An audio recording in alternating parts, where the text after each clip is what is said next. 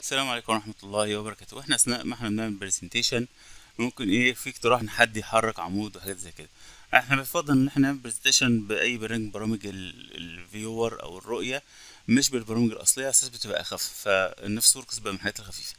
طيب فأنا ممكن مثلا إيه أقترح عليه إن إحنا ننقل حاجة فبعد ما عملت select هروح هنا ل item tools وألاقي إن أنا عندي أداة اسمها move هو بيقول لي حرك هقول له ماشي يعني أنت عايزها مثلا بالشكل دوت.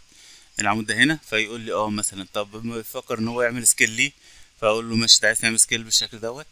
ونبدأ نعمل scale هو لأ ده عايز يعمل rotate فأقول له مفيش أي مشكلة خالص. أهو. ونبدأ نعمل rotate للعمود.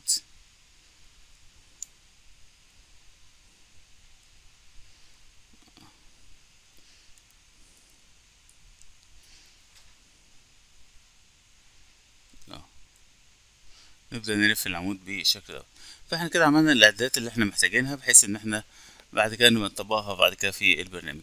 من ناحية ال- ال move وال rotate وال scale والحاجات دي كلها وآخر حاجة لو أنت عايز تقول له reset transform ده هيرجع العمود لشكله الأصلي عادي خالص. تمام؟ كل التعديلات اللي إحنا بنعملها هنا دي مش بتأثر على الشغل بتاعنا ولا بتأثر على المشروع. ده مجرد بس رؤية الحاجة ولما تخلص تقول له رجعها في المكان بتاعها.